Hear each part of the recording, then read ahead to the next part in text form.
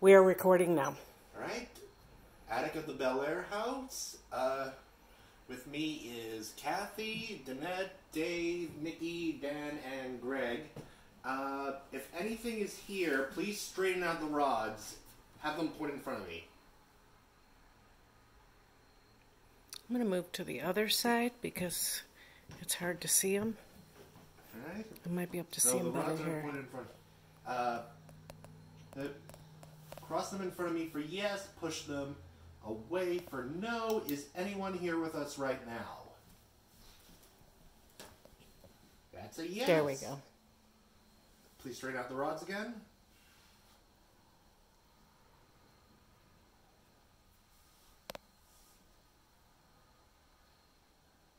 Just want to mention that there are cylinders around the rods that preventing me from directly manipulating them. So, uh, is this one of the people we were talking to earlier?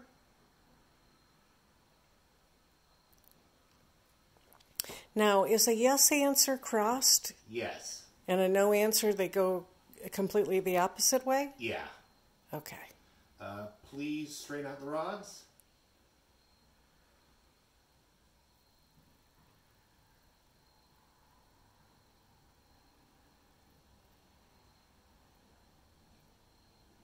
I think that might be as straight as we're going to get them. Is this Emily?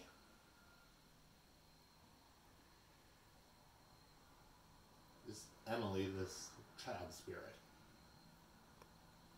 Chuck? Is this Chuck? This is a spirit who wanted to go to hell here.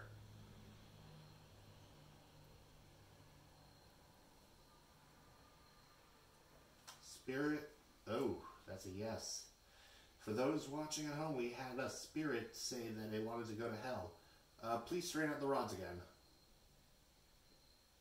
Know it's a lot of energy, but please straighten out the rods.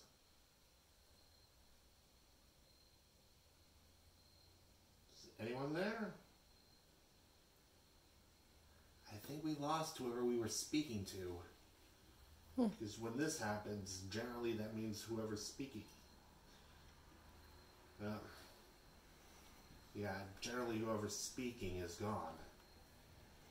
It's kind of like what I was doing when we were doing the spirit box. It would kind of come and go. Yeah, I'd like to try that spirit box. Uh, I'm gonna try one more time with these. Uh, if anyone wants to communicate with us, please cross the rods in front of me. Are you still here? Is anyone still here? Is there a servant here? I think we've lost whoever was speaking to us. Eh, ending session.